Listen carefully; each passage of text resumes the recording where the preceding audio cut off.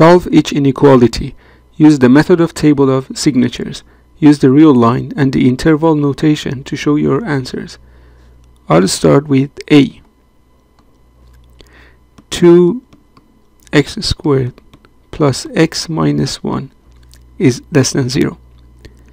When we're dealing with any inequality other than linear inequalities, such as this one, we would bring all of the terms to one side of the inequality. In this case, this has already been done.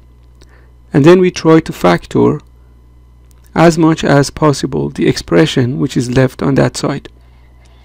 This is one of the most powerful strategies to handle inequalities.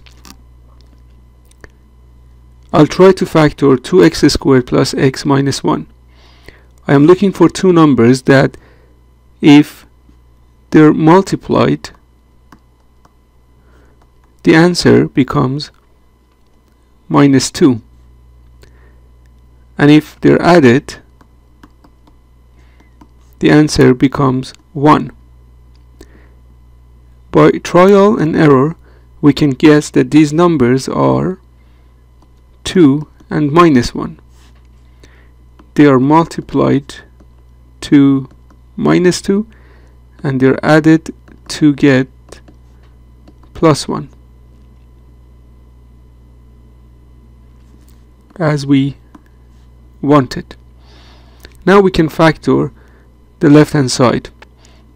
It becomes 2x squared plus 2x minus x minus 1 less than 0 we can group the first two terms and factor 2x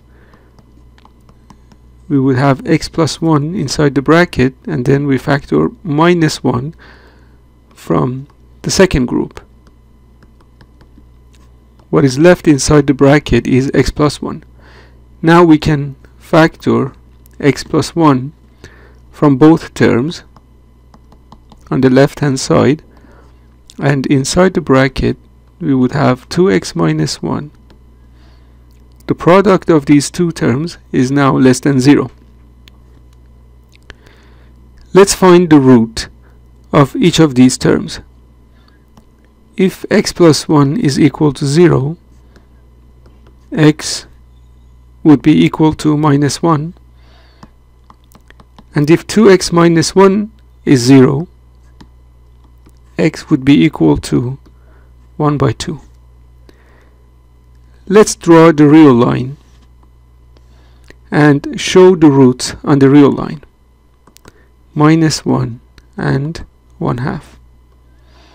Draw a vertical line before the first root and draw vertical lines starting from the roots in order to create a table. Now draw a horizontal line below the x-axis and on the left hand side write the term which gave you minus 1 as a root.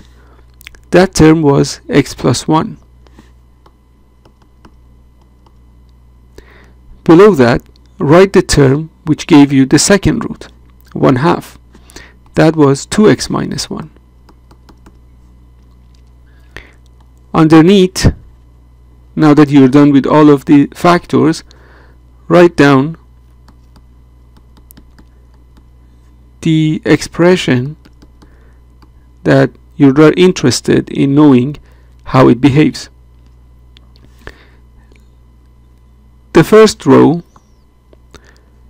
shows the x values. Two x values are important to us minus 1 and 1 half now let's look at x plus 1, the first expression under x. This expression becomes 0 when x is minus 1 because minus 1 was the root of x plus 1. For any value of x less than minus 1 that is the values of x which are on the left hand side of x equal to minus 1 x plus 1 would be negative we can try a value for example minus 2 into the expression. Minus 2 plus 1 is a negative number as we showed here. Now for all x's after minus 1 which was the root x plus 1 will be positive.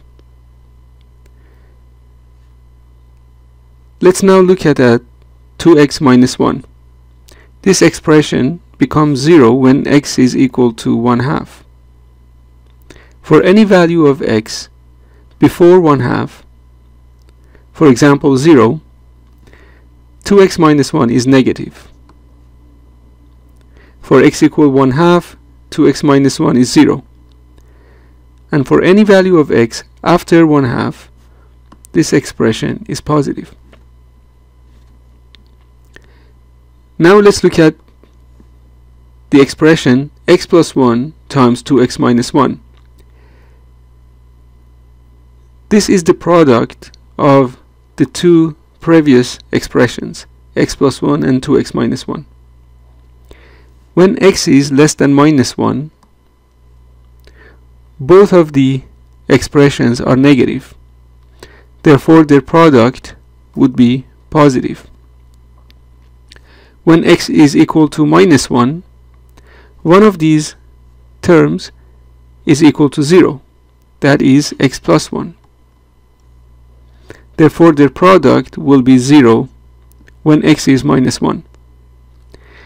When x is between minus 1 and 1 half, one of the expressions is positive and the other one is negative.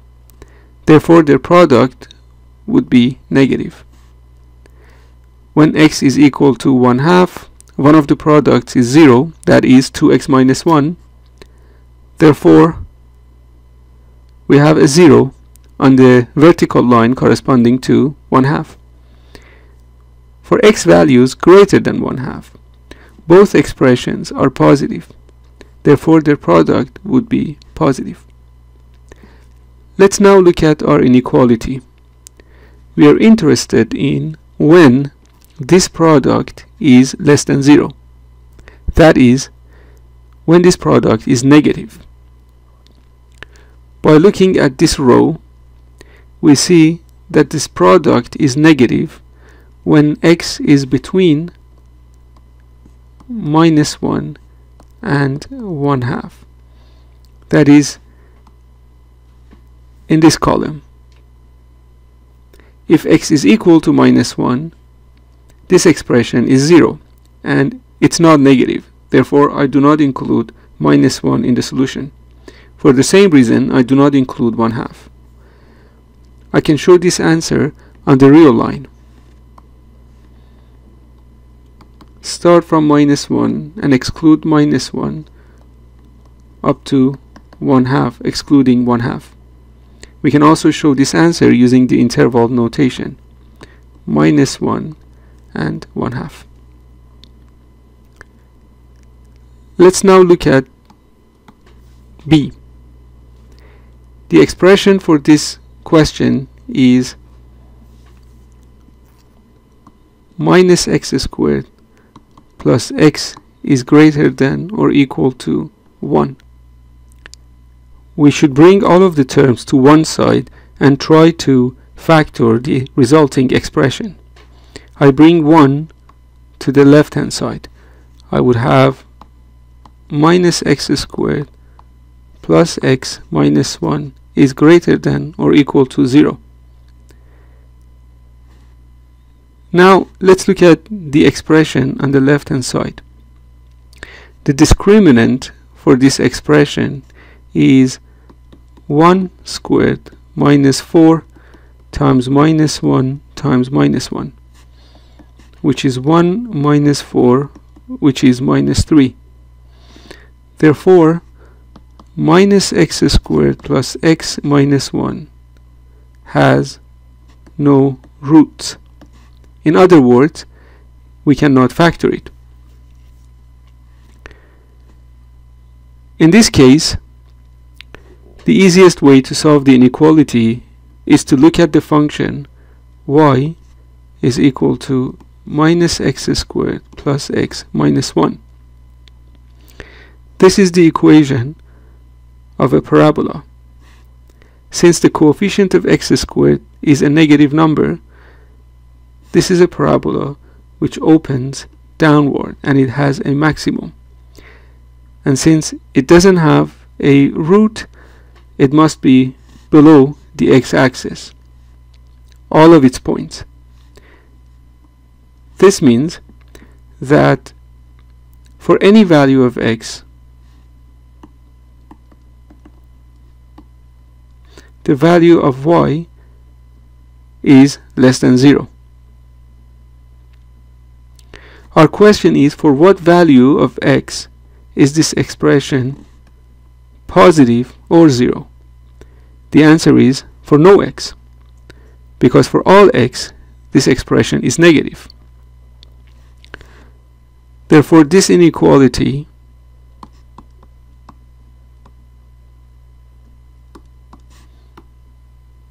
has no solutions. We can use the real line to show the answer. We'll leave the real line empty. And then we can also use the interval notation to show that there are no solutions. And this is the notation we use.